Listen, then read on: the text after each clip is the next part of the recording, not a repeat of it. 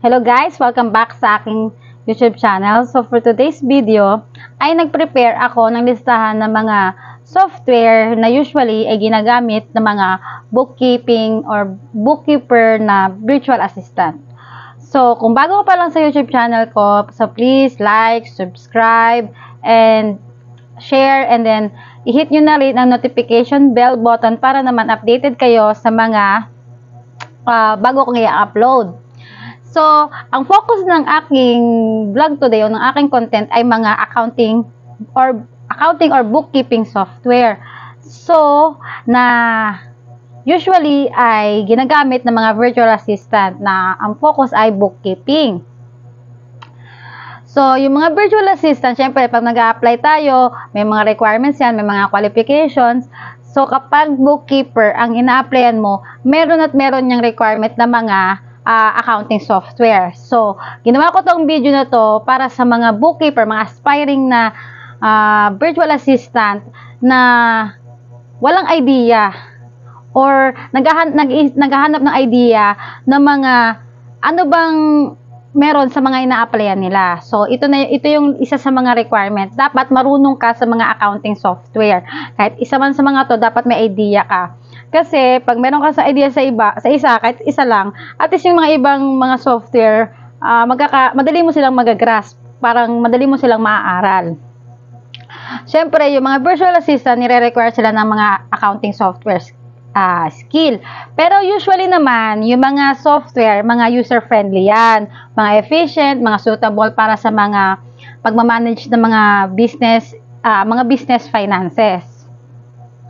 So, meron ako ditong 10 na software, accounting software options na commonly ginagamit ng mga virtual assistant.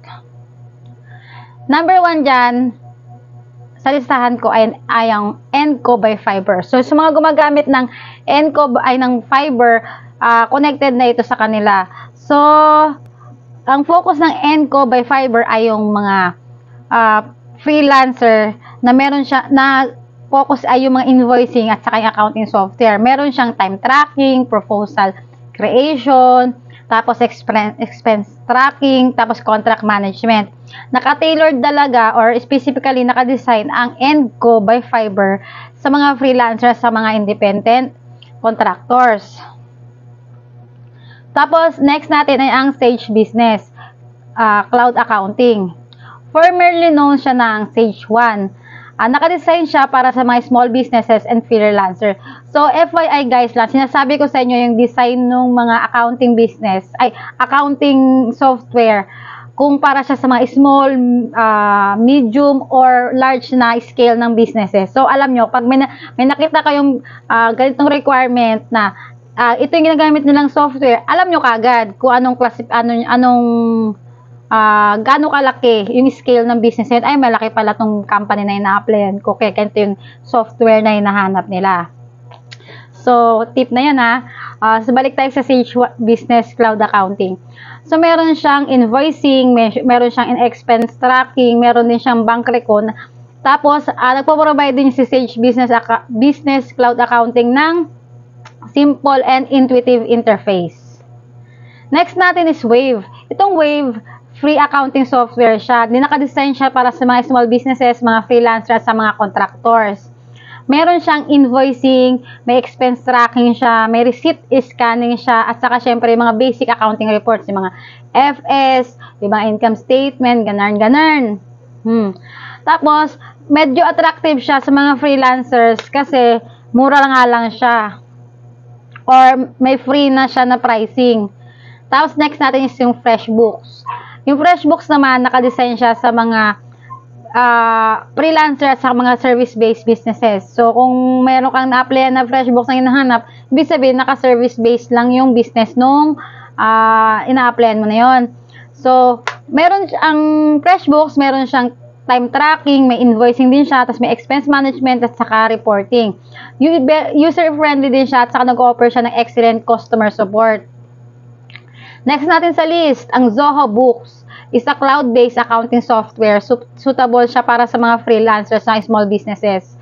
Mm, ang Zoho Books ay mayroon siyang invoicing, expense tracking, bank record, at saka financial reporting. Zoho Books, mer- na ini-integrate, na i-integrate din siya sa mga Zoho applications. Next natin, medyo pang malaking business na ata to, itong Microsoft Dynamics 365.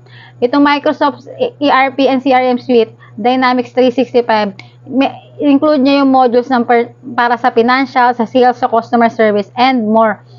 Ano siya, suitable lang siya para sa medium to large enterprises. So, yun sinasabi ko sa inyo kanina, umpisa pa lang, kung makita nyo nire-require kayo, ah, parang may requirement na marunong sa Microsoft Dynamics 365, medyo malaki yung business na ina-applyan ninyo. Tapos, next is same din, yung SAP Business One. Ay, pwede pala itong sa small and medium businesses pa din pala siya. So, yung SAP Business One is an ERP solution. Uh, design siya sa mga small and medium sized businesses. It offers accounting, CRM, inventory, and other business management tools. Next natin is yung NetSuite. Medyo, ito isa pa, medyo mid-size to large enterprises siya nakadesign siya para sa mga mid to size mid-size to large enterprises. NetSuite owned by Oracle is a comprehensive ERP, yung enterprise resource planning solution that includes accounting. Tapos may CRM din siya e-commerce functionalities. Tapos ito na yung sa top 2 na dapat uh, kahit pa paano may background ka kapag nag apply ka bilang bookkeeper as virtual assistant. So, ito yon na, Yung na, sa top 9 natin is yung 0. Ay, top 2 pala. Top 2 natin na yung 0. 0 is known for its ease of use and comprehensive bookkeeping features. Meron siyang invoicing, expense tracking, bank recon, at saka financial reporting. Nag-offer din siya ng range of integration to its enhance its functionality. So, ito, ito siya usually nakikita ko na nagaano eh, pagka na may mga hiring ako nakikita, isa, isa to sa mga usual dapat uh, medyo may idea kasi lagi ginamit ito yung mga zero expert, ganyan, mga senior bookkeeper na malalim yung in-depth yung knowledge sa zero. So, alam nyo na, idagdag nyo ito sa listahan ng i-research nyo kung gusto nyo pumasok sa pagiging bookkeeper, uh, bookkeeping virtual assistant. Next natin, ang favorite ng lahat at ang number one, top 1 sa accounting software na dapat talaga ay alam mo. Kasi karamihan, hindi lang karamihan, majority ng mga nakikita kong uh, nag-hire ng uh, virtual assistant na bookkeeper ay ito ang hinahanap. QuickBooks Online, QBO. Ah, uh, Usually, ginagamit din naman ito ng mga businesses talaga, yung mga face-to-face business. Pero, yung mga, syempre, virtual tayo, so, mas madalas itong ginagamit kasi napaka-user-friendly din talaga. Na-try ko na eh.